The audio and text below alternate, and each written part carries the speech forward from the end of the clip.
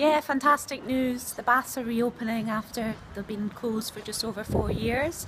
I was a regular user. It was a sad day when they closed.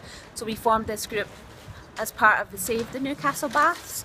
So there were only seven of us that had fought on, tried to get funding to look at feasibility of us taking it on as a community group. And then we were approached by Fusion, who were putting in a bid, and they wanted our support we had the same vision to keep the original historic features and keep it accessible for everybody in Newcastle and for the many visitors as well that, that came and used the baths. So we just had a look around. I mean, it really is an incredible, it's a stunning building. How does it feel to be, to be here today, looking at it having a future? It feels great. It's it feels real now, actually. Um, so we're dead excited. It's it's opening up next spring.